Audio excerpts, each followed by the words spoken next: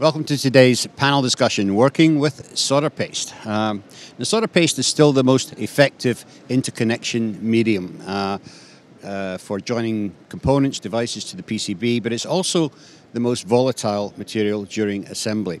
So this panel is going to discuss some of the best practices uh, when using and handling solder paste.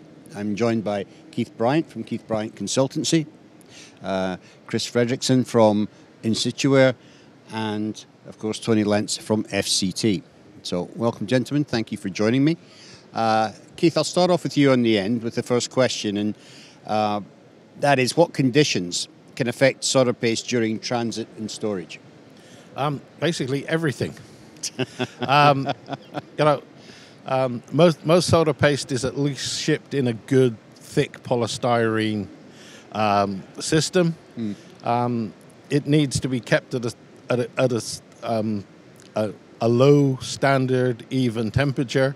It doesn't like temperature fluctuations, and um, I had a situation a long, long time ago where we had solder paste failing on a line for a, a large um, mobile phone manufacturer, and we found out that the uh, paste had been left sitting on his dock for eight hours at a temperature of about 28, 30 degrees centigrade. Wow. So even with the polystyrene insulation and everything else, basically it was it was cooked before you started with it. Right. So right. yeah, you you really have to be yeah. you know, if, if it's if it's bad when it comes in, there ain't anything you're ever going to do to make it better. Yeah, yeah, and it must be very difficult when you're when you're flying uh, solder paste. It goes up into the, in the, belly of an aircraft, and it goes to these you know extreme minus degree uh, uh, situation, and then get, has to come back to uh, a more normal yeah, I mean, temperature. All, all the solder paste companies obviously do transporting tests, and yeah. they know that under the normal, you know, under normal situations with a bit of leeway,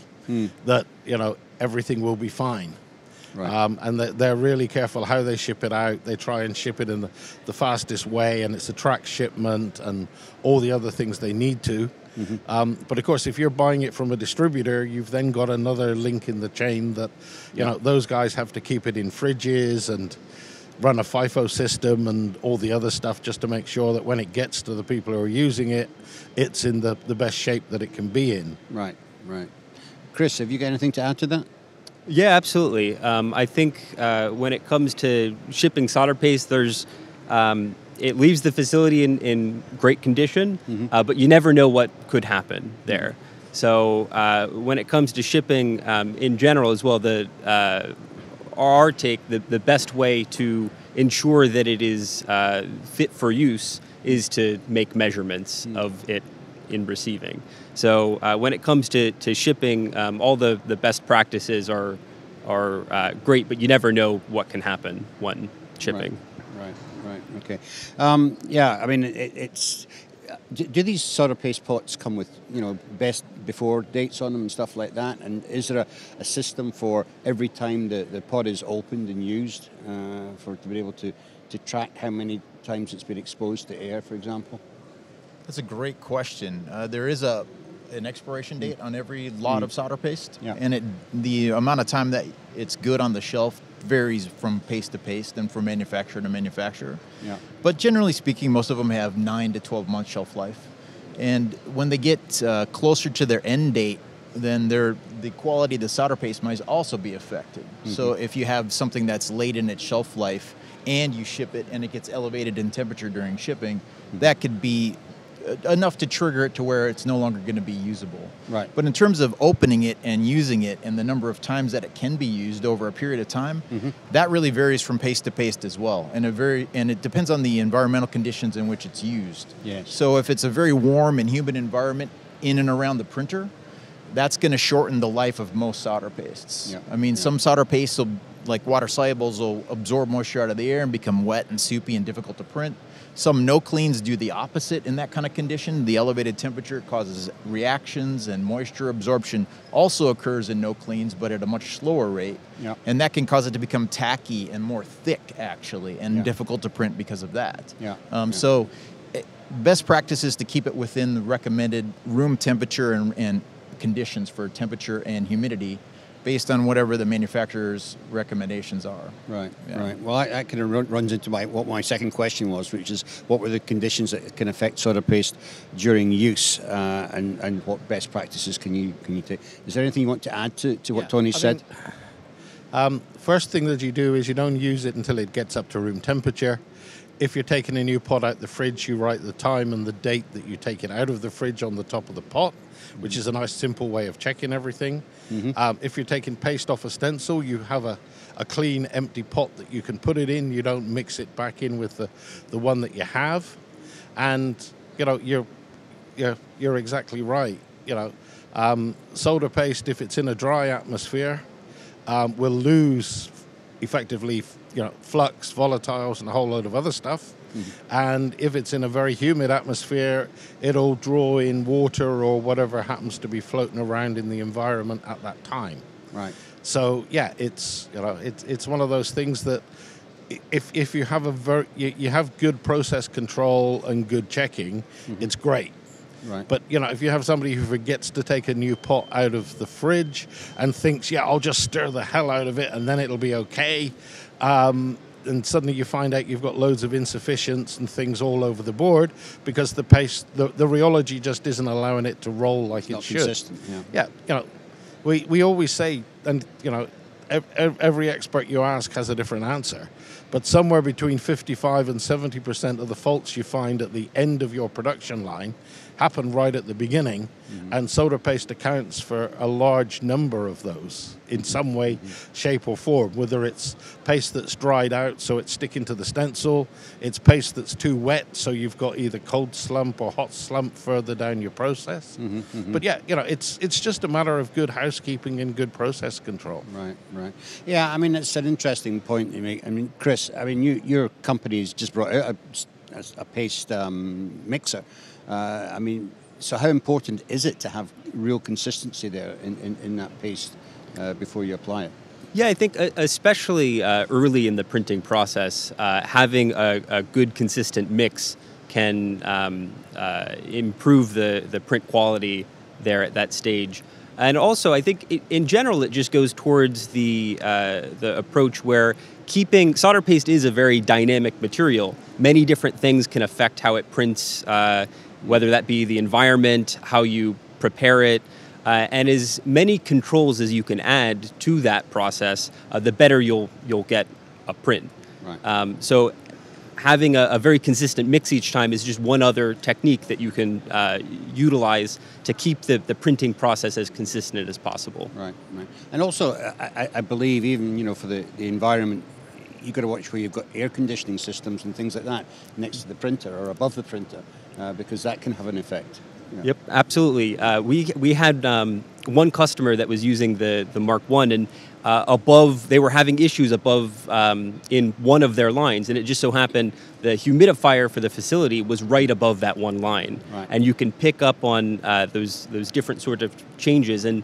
And in particular, the environment and the humidity, airflow, all of that can have um, quite a big impact on performance that can be fairly difficult to, to track down. Yeah, yeah, yeah, I believe so. Uh, so, Tony, what, what advice can the panel offer operators that are applying paste by hand? You know, when, when, when you're literally taking it out of the tub and putting it on the squeegee. Well, first of all, it's always good to shear thin the solder paste by mixing it gently, you know, not excessively. Right. Or use some type of controlled mixing system to do that. Although not all solder pastes respond well to that, in my experience, uh, because uh, operators tend to think, well, a little bit of mixing is good. Maybe more is better, right? Let's just leave it in that mixer for a while. Um, and pastes have a like a hysteresis of viscosity. So if you mix it a little bit, you can uh, achieve a nice working viscosity within just a 30 seconds or a minute of hand stirring. Mm-hmm. Or in a cartridge, as you're dispensing it from the cartridge, it's getting shear thin enough usually just by going through the small opening of the cartridge tip. Yep.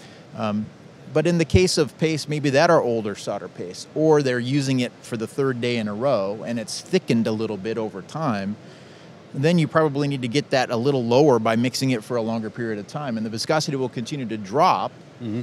But then at some point, the viscosity will recover and it'll re-thicken while you're using it. So you got to be careful with that. Yes, So, yes. But it is best to mix it just to make it a nice working viscosity, Mm-hmm. especially if there's any separation between the flux and the solder powder. Yeah. You're going to want to make that more uniform and mix that back into the container. Yeah. Yeah. Okay. Um, so, Keith, does does paste applied by a stencil printer versus a, a jetting system differ? And if so, how? Well, hugely because you need a, a different viscosity and a different rheology for working with jet dispense. And normally you need a smaller powder because of the way that you're dispensing it. So Right. now we're printing either type 3 or type 4, and we're dispensing type, well, predominantly now type 5. Mm. And yeah, you know, you, you can't just take your normal solder paste out of a tub, fill it into a syringe, stick the syringe into a jet dispenser, and think that it's going to work. Right. But obviously, the other thing that you need to be aware of is that you need similar flux chemistries, you need similar, similar metal chemistries between what you're jetting and what you're printing, so that you have a, a process that's under, under control and works as it should. Mm-hmm. You know, the, the, the danger is, and it's getting better now, but a, a lot of materials that you can buy, you can't buy a jet dispense equivalent. And you really need to have, you know, the same flux chemistry, the same melting point temperature, um, the same, obviously, the same materials within that. And as we're getting to low temperature solders now, where there's bismuth, there's silver, there's indium, there's a whole load of other stuff coming in, you need that, you know, similarity of chemistry. It may not be exactly the same, Mm-hmm. you know, and then we have a problem. Just if you want to talk low temperature solder to go off at a tangent, you know, it's very hard to get cored wire Right, in low that's true. temperature solders because the, the damn stuff is so brittle, and it it it uh, o- over time, and time is only about like two three weeks after it's made. Um, it starts to become more brittle because of what's happening with the bismuth inside it. Mm-hmm. So yeah, you know, we, we always say nothing solders better to solder than solder, but you just need to make sure that it's all the same stuff all the way all through. the same stuff. Yeah, yeah. And I guess when when when you're jetting, you've got the added advantage that it's in a, a cartridge, so it's it's it's in a uh, a vehicle. Oh, yeah, it's in a, it's in a great environment. It's the same as the, you know, the enclosed printing heads. Yeah. You know, they keep everything pretty much uh, under control in a way, Hmm. and everybody says, yeah, they're perfect. But the problem is you can't change what's going on inside the cartridge. right. So if somebody's not taking it out of the fridge early enough, somebody's left a cartridge on there for a long time, as opposed to putting it back in the fridge, maybe putting it into a spinner or something. Mm-hmm. You know, th- there's there's variability everywhere, which is what you know. As, as a consultant, we like because keeps you in a job. there, there, there's there, there's lots of stuff that people can, I won't say do wrong, but maybe just don't have under control as much as they'd like Right. But yeah, it you know it is it's a, a different animal. It's a different game, mm-hmm. but it has its its own problems with blocked nozzles and a whole load of other stuff. But you know, more and more people now, because we have really big components, we have really small components on the same board, are looking to, you know, screen print and then jet where they need to put extra material. You know, a lot of printers now have actually got jet heads inside them for mm-hmm. doing exactly this, and also um, you know, if you've got through-hole components and you want to reflow the whole thing with pin in paste, you need to get a lot of extra paste onto those pins because you've got to get fill through the, the length of the board. the and if you've got 0201s, 01005s on there, then you almost need no solder paste to get them to solder. So, yeah, there's a lot of challenges. Yeah, yeah, absolutely. Um, Chris, have you had any experience between the the, the um, working with the, the, the jetting and the um, systems and uh, solder paste? Yeah, so uh, we have done. St- stencil printers. Sorry. Yeah. yeah, so we have done a little bit of testing uh, with the jet solder paste, and you do have, um, because it's a, a much smaller uh, solder powder, uh, you can get more um, uh, exposure and, and influence in the environment if there's any delay after um, printing. In, and in particular, I think uh, when it comes to the enclosed print head, I think I'll, I'll uh, parrot uh, what was said there in that uh, everything really does have to be perfect in that case. So we've seen with enclosed print heads where you get uh, a little bit of flux separation in that system, and you'll get significant skips and insufficiency throughout. Uh, whereas a little bit of flux separation in a jar or cartridge uh, isn't much of a problem. So I think really having strong control over uh, all of the, the process does become um, doubly important in those cases. Is that, is that why uh, enclosed print heads haven't really taken off to the level that we expected they would? I mean, you know, they, they, they, came out a long time ago, if you remember, with the DEK ProFlow. Uh, and everybody thought this was going to be the, the game changer, you know, in, in the industry, but it never really got to the level uh, accepted in, in, in the field. Um, is that because of the, there, are, there were some issues with it? I don't recall there being any issues with it necessarily, but there was an added cost. Right. And I think the added cost was incentive enough where folks didn't want to pay the extra money and they'd rather buy it in traditional containers. Right. Right. Okay. And, and at the early days of the um, the enclosed heads, a lot of material wasn't available in Semcos, and you know that stopped people from using it. Um, and I think you know I, I see enclosed heads quite a lot in high volume manufacturing plants in Asia where they're building the same thing day in and day out. Yeah. But I think if you're changing and you're changing stencil thickness, you've got step stencils and a whole load of other things, then mm-hmm. yeah, you have you have a few more challenges with the enclosed heads. Mm-hmm. But you know, if, if you can be doing the same thing all the time and you're doing a huge amount of it, then yeah, that tends to be where they Right. where, where at least where I see people using the, Yeah. the various That makes enclosed sense. heads that, That are makes out sense. Okay. So, Tony, in, in rework and repair, is it essential to use exactly the same sort of paste as the original board was assembled with? It's not essential. In fact, I would say it, that's kind of rarely done. Most rework and repair that I've seen is done with wire solder. Yeah. And they're using some, you know, SAC, usually the same alloy, mm-hmm. but there's a different flux core in there than what's in the solder paste, obviously. And usually there's a, a little bottle of unmarked liquid flux mm-hmm. sitting on the re- rework bench, and you don't know what type of flux that is, and it's all getting intermingled with the, the solder paste flux. Mm-hmm. And I think our customers are just hoping for good reliability out of that mixture without really knowing. But if it works, it works, and they don't get returns, then they're they're happy with it. Um, I think certain customers do standardize on one supplier. Right. And when they do that, they're looking for compatibility matrices of fluxes to make sure that the liquid, the cored wire, and the solder paste are all, you know, they- they'll play nicely together and they're not going to cause any electrochemical migration problems. Right. So that's the best practice. Yeah, yeah. Yeah. I think I think you know, Keith, uh, you you run into some issues with um, in rework and repair when you're doing reworking um, low temperature boards, for example. You know, where, where a lot of the the packages of the, the balls and the BGAs are all SAC 305. You know. Uh, Yeah, but I mean, we, we when we started, BGAs were um, balls with pure tin, and we were soldering them with tin lead. So the ball itself was never melting. So we've always had this coalescing problem within the within the build-up. But you know, um, I, I was at a presentation earlier this week, and there was a guy who said, "Well, you know, what we really need to do is we need to take all the balls off, replace them with low temperature solder, and then everything will be fine. And somebody in the audience said, Well, yeah, but it depends on the makeup of the low temperature solder. So now you're into a situation where you either have to reball BGAs with exactly the, the formulation of low temperature solder that you're using, or you have to try and buy a BGA that has a low temperature solder ball on, which is exactly the same. And you know, it's like everything. You're you're reballing it, so you're putting it through effectively two more heat processes, and then you get into, okay, we're doing this for high reliability of the joint, but do we lose reliability of the component when we're continually doing this? Oh, well, And yeah, yeah. you know, it's it's always a um, it, it's always a difficult one. But I mean, rework, rework has always been something that you know, if you don't control it properly, it lets down your whole process. yes. I mean, you know, we, we had the, the, the classic um, a few years ago with the uh, the little uh, the little bottle of flux under the be- under the best that wasn't labeled with anything, um, and it turned out to be an RMA, and it was really aggressive. Mm. And there was one component on the board that didn't solder very well because it was an old component, mm. and this little lady was dabbing all of the legs with RMA and then not cleaning it off afterwards because she just found this little bottle and it worked. So it actually went in the what they were building were IGBTs that went into wind farms.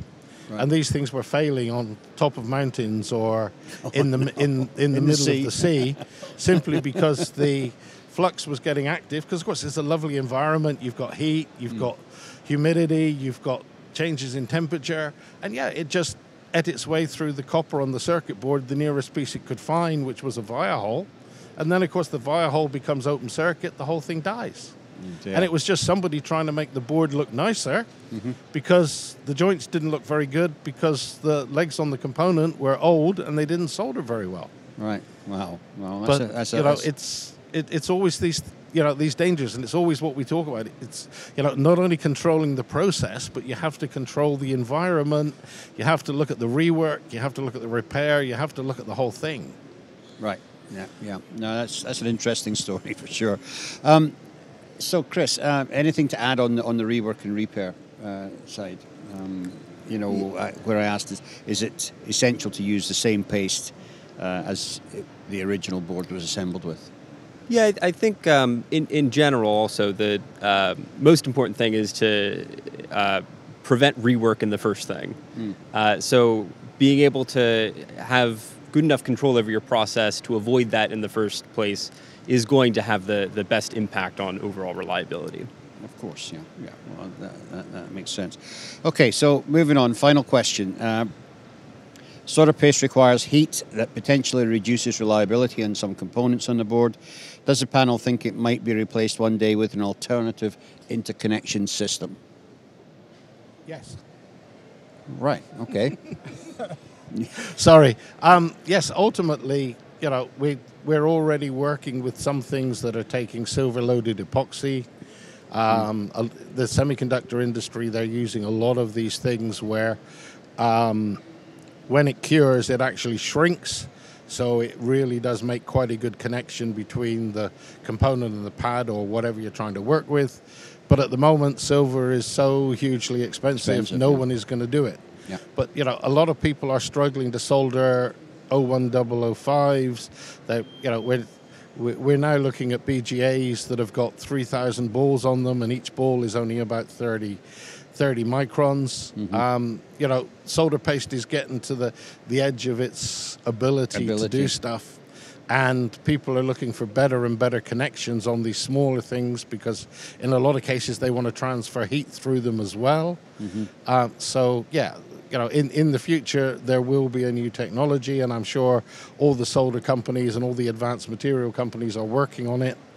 But it it's it's not out there yet in a reliable enough form that's cost effective enough to be an alternative. Okay. But it'll come.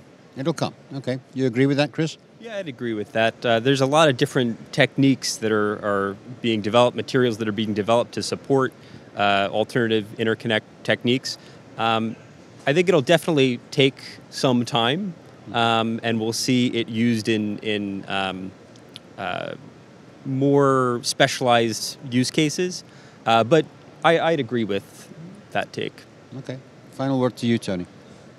Ooh, I get the final word. Yeah. Excellent.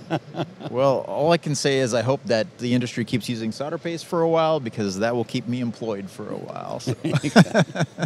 Yeah, yeah. I think it's going to be around for a long time, but you know, I'm sure as materials science develops, there's going to be there's going to be some uh, alternative will come along in the future, yeah, certainly. long after we're out of this industry. Oh, for sure. Yes. I mean, I, I can remember in the 80s when somebody told me through hole was dead because we've now got SMT. So, right. you know, uh, Exactly. I don't think I don't think we need to worry within our lifetimes for sure.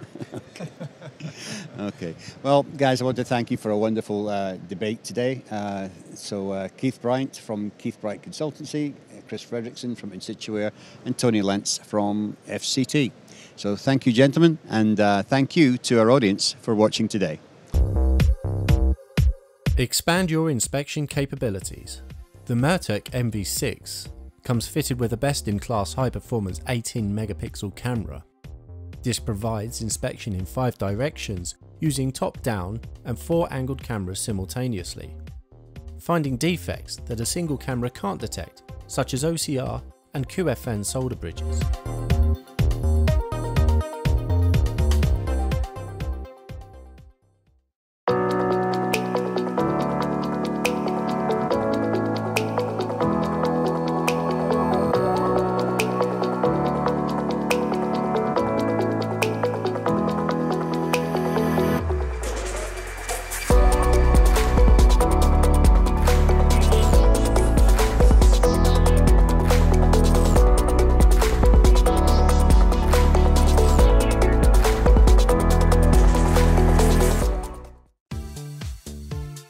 Nordson Electronic Solutions. Everything you need for precision automated fluid dispensing, conformal coating, plasma surface treatment, and selective soldering. Our passion is helping customers take their processes further, faster, with best in class technologies, dedicated global sales and support teams, and unmatched applications expertise. From the names you respect, Asymtek fluid dispensing and conformal coating, March plasma treatment, and Select for selective soldering. We offer years of experience in advanced technology solutions for electronics manufacturing. Take your electronics assembly process further, faster